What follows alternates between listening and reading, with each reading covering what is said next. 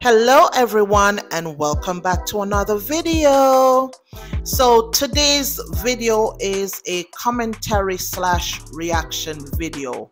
I came across this clip on TikTok and I just wanted to share it with you guys and please let me know what you guys think about this video. Leave me a comment down below. It would be much appreciated.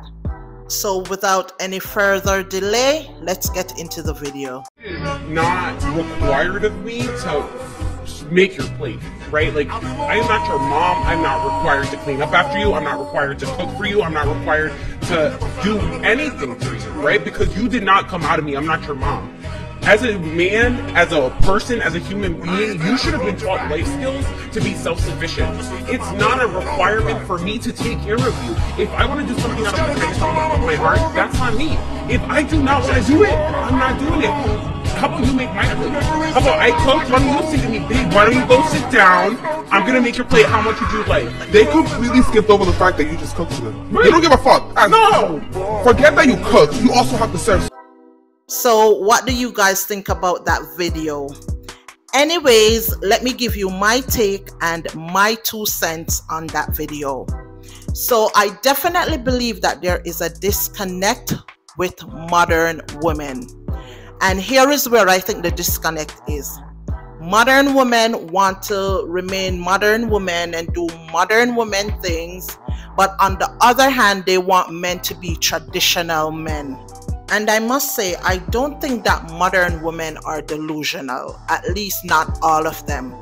I think most of them were just never taught what their roles are as women. And what they don't understand is that a man will treat you based on the type of woman that you present to him. Ladies, you need to understand that your femininity and your feminine energy can change a nation whether it be for good or for bad. So, this modern woman only wanted to complete half of the work. She only wanted to cook the meal but not make him a plate. Make it make sense. And if a man decided that he was only going to do half of what a man needs to do, all hell will break loose. For example, what if he decide to just meet her halfway the same way she just wants to meet him halfway?